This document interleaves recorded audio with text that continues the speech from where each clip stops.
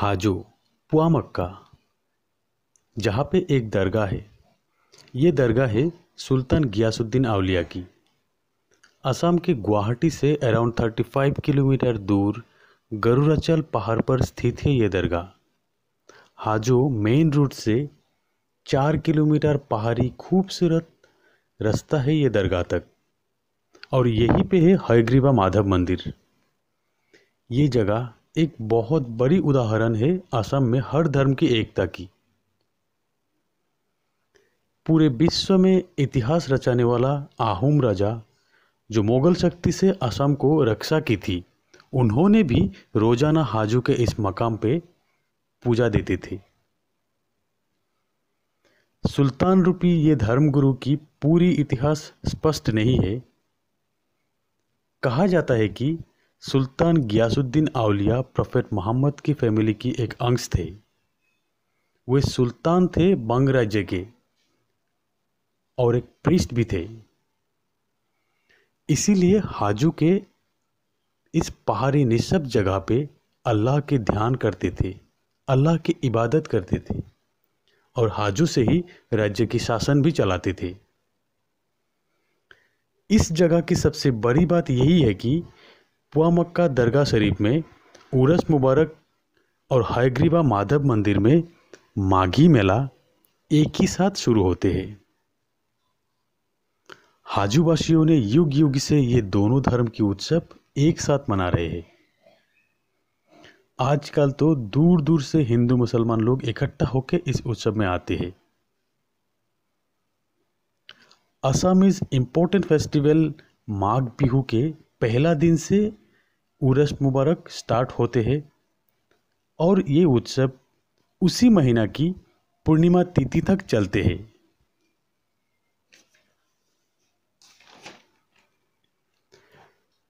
इस उत्सव में हिंदू मुसलमान दोनों धर्म की लोग माधव मंदिर और पुआ मक्का की दरगाह दोनों जगह दर्शन करते हैं। ये सब संभव हुआ है हाजू के लोगों के निष्ठा की वजह से। अब तक की देश की बड़ी बड़ी सांप्रदायिक तनावों ने भी यहाँ के लोगों की एकता को तोड़ नहीं पाई। जैसे कि ये एक मिसाल है और मिसाल ही रहे, यही दुआ है हमारी।